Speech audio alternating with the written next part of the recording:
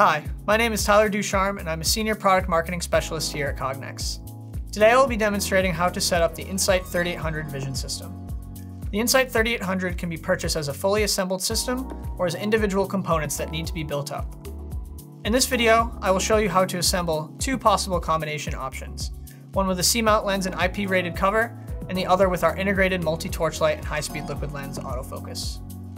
As you can see in front of me, I have all the components needed to set up your system, as well as the tools we'll be using.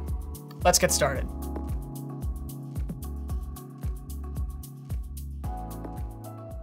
Let's assemble the 3800 with a C-mount lens and IP67 rated cover.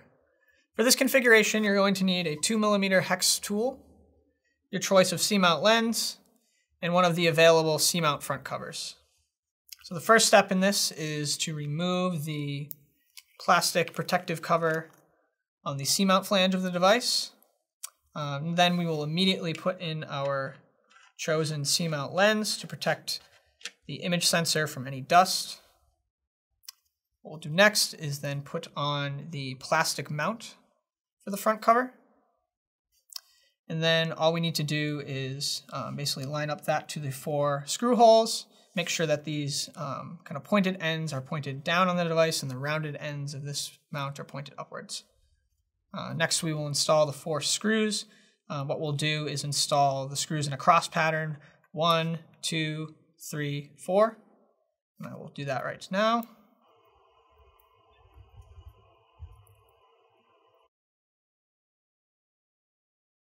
Okay, on to our last step. Now that our four screws are installed, um, simply install the actual cover itself. So these covers are keyed. There are three little keyed openings on the cover itself that match three um, little plastic protrusions on the mount. So all we need to do is just line up those keyed holes and then screw it on.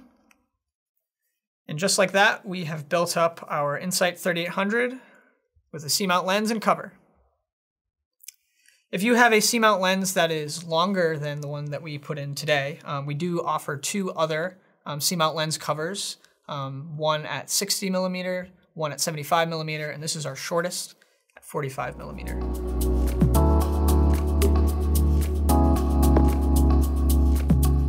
Let's assemble the 3800 with the integrated multi-torch light and high-speed liquid lens. For this configuration, you're going to need, an, again, a 2 millimeter hex tool, this time you will need a number one Phillips head screwdriver and then a multi-torch accessory, uh, which will come with all the necessary components, as well as your choice of a lens. So the first step again is going to be to remove this protective plastic film from the C-mount flange of the device. Then what we're going to do is put in the um, illumination PCB that will come with the um, multi-torch kit. Uh, make sure it is assembled in this way with the um, pins facing upwards in the top left. Once that's installed, we'll then install the high-speed liquid lens. So what we're going to do is line up two of these screws with these two holes and this um, five-pin connector with this one on the right-hand side. So what we'll do is basically make sure that that connector um, mates with those pins. You should feel a little bit of resistance. Once that's in, we will then screw in the the lens itself. We'll start from the bottom and work our way up.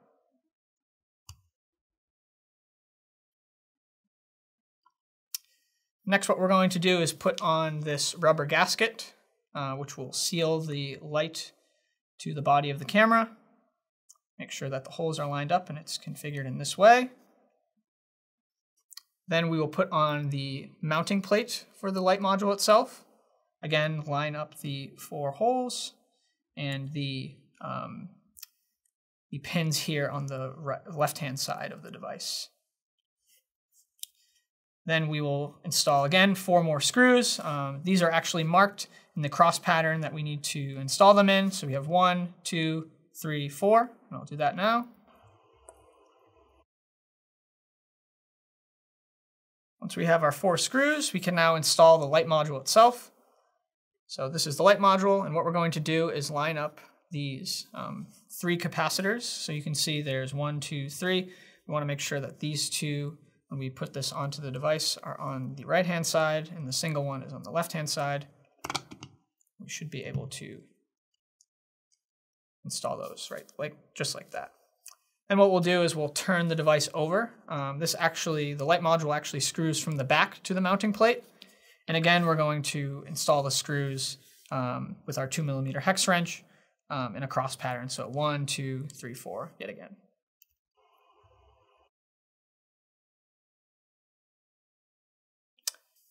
Okay, so we've installed the light. I do want to mention one other thing. Um, so this actual front cover here is actually removable.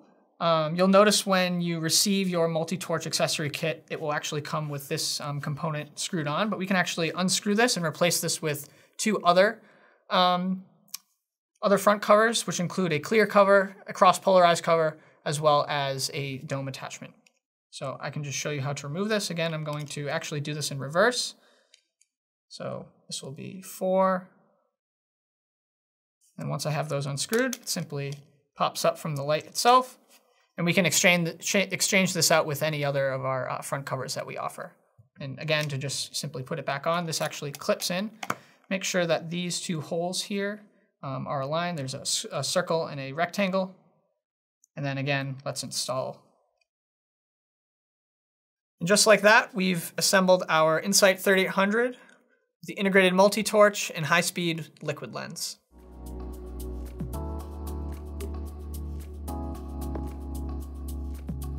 Now that we have the In-Sight 3800 vision system built up, we're going to connect it to a computer and start In-Sight Vision Suite. I've already connected the power and ethernet cables to the In-Sight 3800 and connected to my laptop. I've also already installed In-Sight Vision Suite and have it open. From here, your device should show up in this menu on the home page on the left-hand side of the screen. You can match the serial number and MAC address that is labeled on the rear of the device with the serial number and MAC address that appears on a selected device within In-Sight Vision Suite. If it doesn't show up, please check to make sure your system's network settings are set up to DHCP. From here, all I have to do to connect to the device is simply double click the, um, the icon here or click Easy Builder Connect or Spreadsheet Connect. For this demonstration, I'm just going to connect via Easy Builder. As you can see, I'm now connected to the device and can set up my application. Let's recap. We assembled two different IS3800 configurations, one equipped with a C-mount lens and IP67 cover, and another with our integrated multi-torch light and high-speed liquid lens autofocus. Lastly, we plugged in our power and ethernet cables into the device and connected to it in In-Sight Vision Suite via my laptop. Thanks again for watching.